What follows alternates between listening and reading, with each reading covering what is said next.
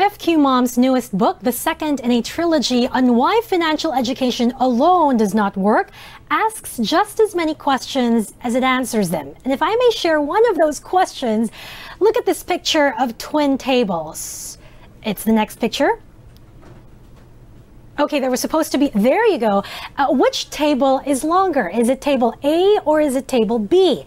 The typical person would answer A instantly. But being typical doesn't necessarily make you right. You're going to have to pull out your rulers uh, to measure which really is the longer table. So these are just some of the questions that are sure to pique your imagination and make you ask some deep questions about the kind of economic player that you are. I'm glad FQ Mom Rose Fres Fausto can join us this morning. Hi, FQ Mom Rose. Thank you for joining us.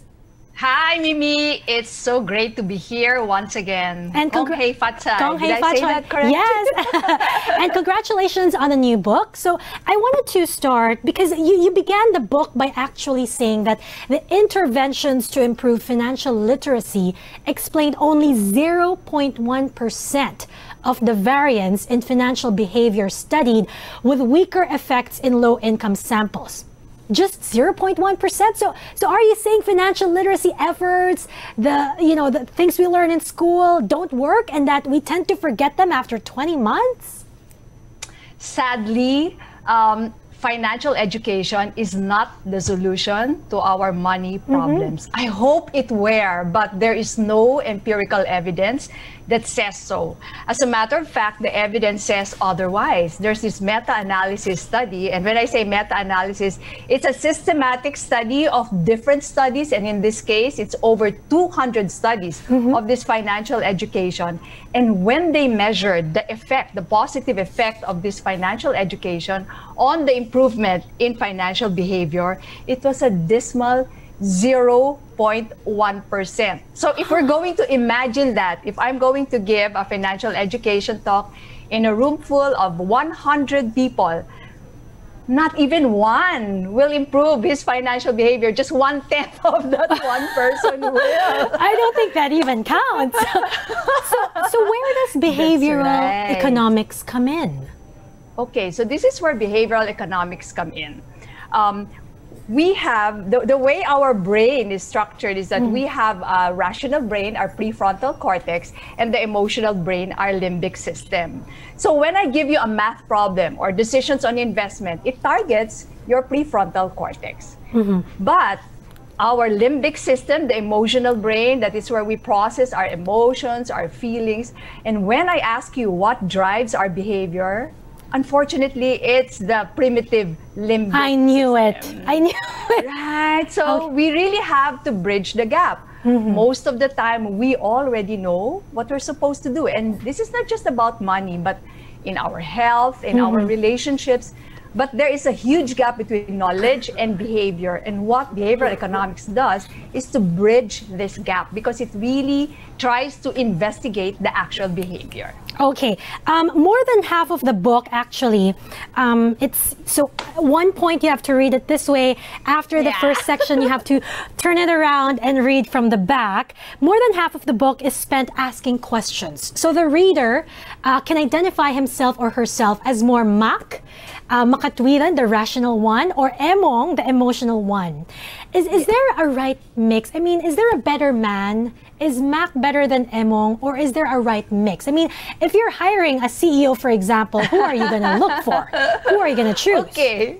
So if you're the type who would really go for the clean cut, rational mm-hmm. one, you go for Mac. But if you're the type who would like the YOLO, the ruggedly handsome, go for Emong. But you know, kidding aside, I made use of these two. I made use of these fictional characters mm-hmm. who are really the whose characteristics are really derived from real life, in order for us to be able to understand that we are both Mac and Emong. And when you, when to answer your question, what is the right mix?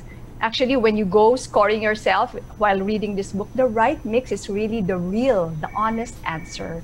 And knowing how you are, the way you are wired, what biases you have, would enable you to understand yourself and mm-hmm. to really design something so that it's easier for you to do the right thing. So there is no right or wrong answer because I I actually kind of felt bad when I when my score tilted more towards Emong.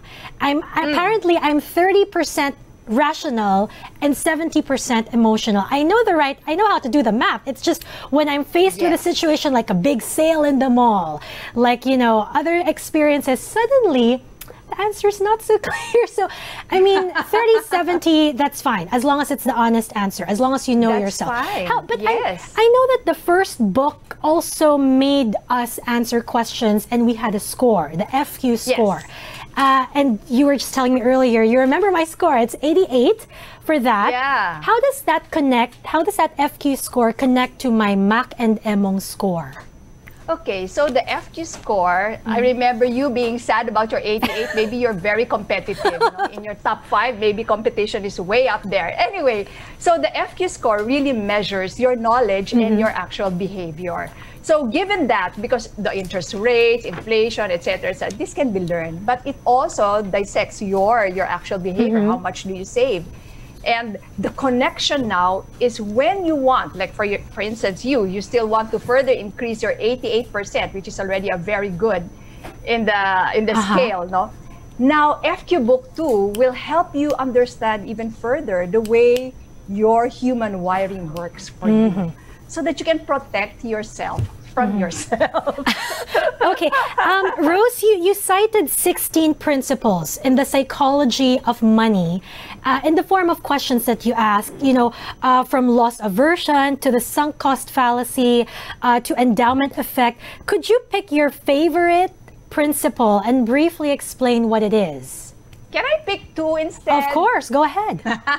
okay, so probably loss aversion has to be mentioned okay. because it is the mother behavioral economics principles uh, economics principle in the field mm-hmm. no loss aversion simply means that we feel the impact of a loss at least twice as much as the impact of a gain so what do i mean by that for example you bought stock A and then tomorrow you earn 1,000 pesos, it, the price goes up. Uh-huh. So you now feel that you are happy with 1,000 points. But if you lose that same amount of money, you're not going to feel the pain of 1,000 points only. It's going to be at least 2,000 pain points. And I think. Uh-huh.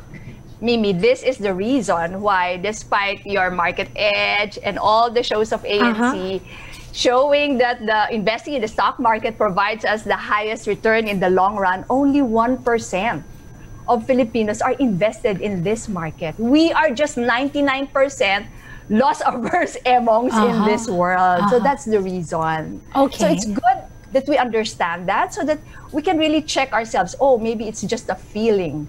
I really have to really think about how I will now earn. So okay. I'll go to my second. Okay. Okay, so my second uh, favorite, not really favorite, it's hard to pick a favorite. Para ko na silang anak, ano? uh, but I do like, I do like the default bias. And this is our tendency to just pick what is there, what is already mm. there as a default option for us. And the reason why I like this is that we can use this to our advantage. And so going back to that loss aversion in terms of uh, investing in the stock market, you can now work on your default bias by doing something a default in the way you receive your salary.